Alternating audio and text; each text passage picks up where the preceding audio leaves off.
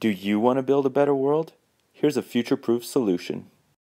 Hi, it's Shane with FutureProofMyBuilding.com and I'm here in Saskatoon, Saskatchewan with Robin Adair, the green builder, on the site of his latest project which will likely be the very first certified passive house in all of Saskatchewan. You might know that Saskatchewan once led the world in energy efficient buildings, actually the first ultra low energy building in the world, the, the building which created the passive house principles or led to the passive house principles was built here in Saskatchewan in 1977 and uh, Saskatchewan and Canada once led the world in this area but we've fallen a bit behind and so Robin is going to explain some of the features of this project that make it affordable yet highly energy efficient uh, for our climate.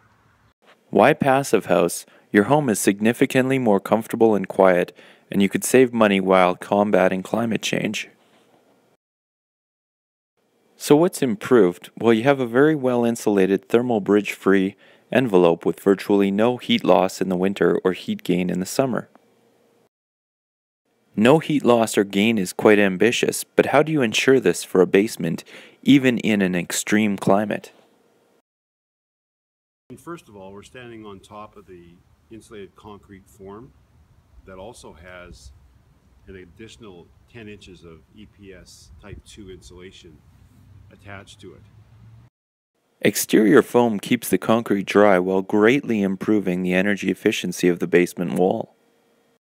Well, that's nice, but why so much insulation? Well, it's because Saskatchewan is one of the coldest places where people live. The yearly average temperature here is only about 3 degrees Celsius. Think about it, would you go ice fishing dressed like this? No ski pants or boots? I sure hope not. Isn't it wise to dress for the weather? That's much better. If your home or building is only dressed in spring clothes, you'll need to burn a lot of fuel to stay warm, and most buildings do. Consider this carefully. Why are buildings that should last at least 100 years not dressed for the climate? And how is this basement wall comparable to wearing ski pants? Well, what it does do is uh, creates a, a, better thermal bridge-free wall. So the R value is uh, uh, kept intact. We're probably at an R63 in this wall. So this basement has an R value of 63, but what is typical if the basement is insulated on the exterior, which they usually aren't? On the R value on the exterior side of the wall to to insulate the concrete would be approximately R maybe R9, R10. So this is a massive improvement and that's why you're doing it because right. we live in a cold climate. That's right. Even an added R9 to the exterior is much, much better than nothing.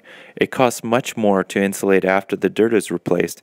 If you're building new, no matter where you are, you're wise to future proof it. Conventional building is comparable to this paper cup.